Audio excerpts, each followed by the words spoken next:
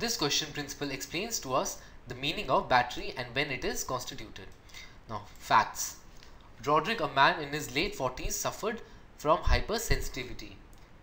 While he was traveling a local bus during the office hours, another passenger crossed him rashly and bruised his hand in an attempt to get down from the bus.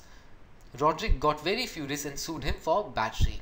So in this question, it is clear that the passenger did not cross him rashly intentionally. That is, the passenger did not have any intention to commit battery as is clear from the principle which says that a battery is the intentional and direct application of any physical force. Therefore, the correct option in this question would be B. That is, accused passenger will not be liable for battery because he did not want to hurt the Mr. Roderick and was merely an accident.